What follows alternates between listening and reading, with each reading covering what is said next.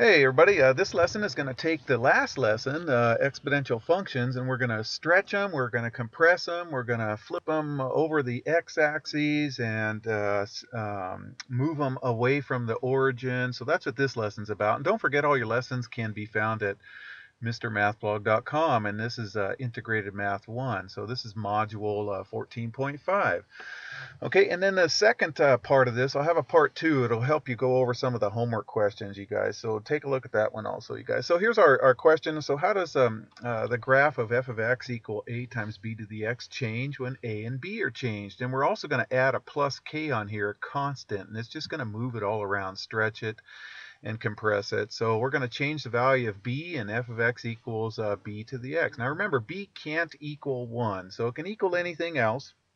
It just can't equal 1. It can be negative, it can be a fraction, it can be something greater than 1 just can't equal 1. And you're going to need a calculator for this, you guys. So so complete the table uh, for the functions. Um, uh, f of uh, 1 of x is 1.2 to the x, and then the other one's 1.5 to the x. And we're going to see what changes here.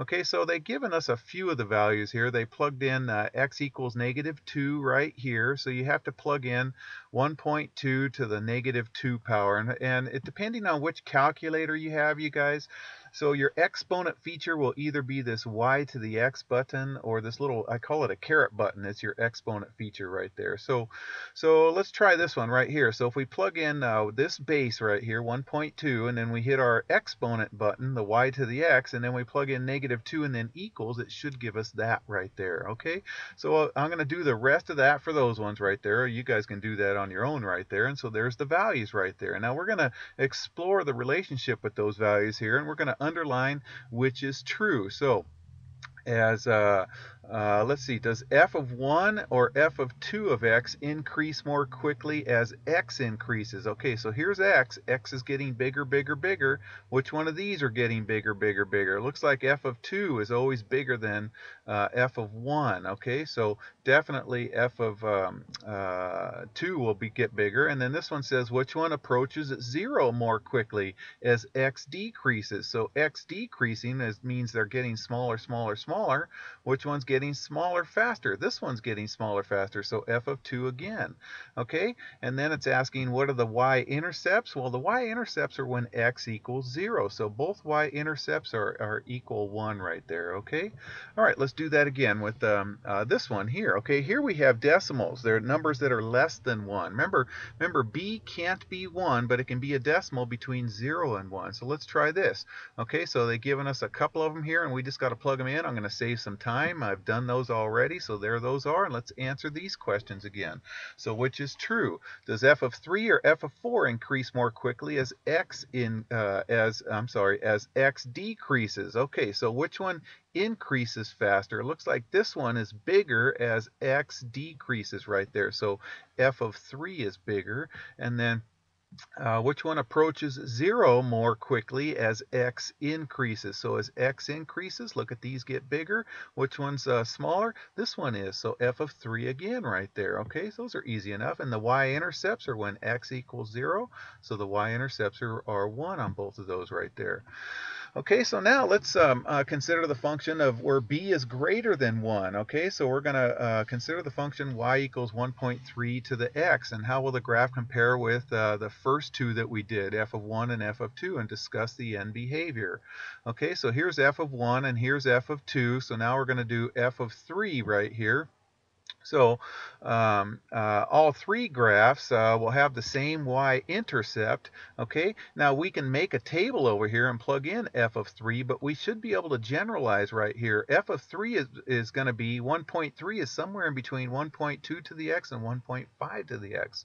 So it's going to be somewhere in between these two guys. So it's going to fall between the other two graphs. It's going to increase more quick, quickly than f of 1, but less quickly than f of 2 as x uh, goes goes to the right or as x increases right here and the graph falls more quickly than uh, this graph than it does from this graph as, as x decreases. Okay, so as x decreases, the numbers are getting smaller. Can you see which one's getting closer to zero? This one's getting closer to zero faster, so f of 3 will be getting closer to zero faster than that guy right there. It's going to be somewhere in between that. So now we're going to change the value in um, uh, when b is greater than 1. Okay, so when b is greater than 1, then we get what's called a vertical stretch or vertical compression. It's formed by whatever the absolute value of a is. Okay, now this is when b is greater than 1. We did some of those already. So now we're going to change a. So if the absolute value of a is greater than 1, then the, gr the graph shoots up faster. It, it, grow, it goes by a factor of uh, the absolute value of a. Okay, and if it's less than 1, then the graph uh, compresses. Uh, well, I'll show you graphs of those uh, on those in just a second, right, well, right here. So make a table of values uh, for the function given, uh, then graph it on the same graph as y equals 1.5 to the x. We already did that one. And describe the end behavior uh, and find the y-intercept of each graph. Okay, so here we're going to do 0.3 times 1.5 to the x. Okay, so there's 1.5 to the x. We already did that before right there, and there's that graph right there. Sorry, I had to do this with my finger on my little laptop, so it's a little shaky in there. I wasn't uh, in school at the time, otherwise I'd have done it on my whiteboard pen on my Promethean board actually. All right, so I'm going to plug in all these values right here. So I'm going to do 1.5 to the negative 2 power, and whatever that is, times 0.3. Okay, so we get all of those values right there, and when we graph them, they're compressed, they're smaller. So so uh, it's it doesn't it still rises, but it rises at less of a rate right there. Still goes in the same direction. So end behavior as x goes to positive infinity, you can either look at the graph. The graph is going up, so f of x would go to positive infinity. And as x goes to negative infinity, this graph gets down close to the x-axis, which is uh, f of x equals 0 right there. Okay, or you can look at this right here. As x gets smaller, f of x gets close to 0. As x gets bigger, f of x gets larger. Okay, all right, so to infinity right there. All right, so now let's try it with um, uh, where uh, a is negative 2. Okay, all right, so we already have um, that graph right there. We already did that one right there. So let's do, so we're going to go 1.5 to the negative 4 power, and whatever that is, we're going to multiply that times negative 2. And then here, 1.5 to the negative 3 power, and whatever that is, times negative 2. So when we do all of that, that gives us those uh, points right there. And see, this negative reflected it over the x-axis right there, okay? So as, as um, uh, as x gets uh, goes to infinity this direction f of x shoots down. It goes to negative infinity. And as x goes to negative infinity this way, remember x is a left and right movement, so when we're going to negative infinity, this pink graph is going up towards zero right there. And the y-intercept is at negative 2. It's when x equals 0, so it's going to give us at negative 2 right there. All right, so what can we say about the common behavior of the form of f of x equals a times b to the x when b is greater than 1? And what is the difference when when the sign changes, okay? So all graphs of the form of a times b to the x when b is greater than 1 approach 0 as x approaches negative infinity. See how they're approaching 0 right here? And the sign determines the end behavior as x approaches this way. So for when a is positive, then we're looking at this top graph as then when x goes to infinity, then it goes to infinity. Over here, when x goes to infinity, when a is negative, then it goes to negative infinity right there. That's what that's saying right there.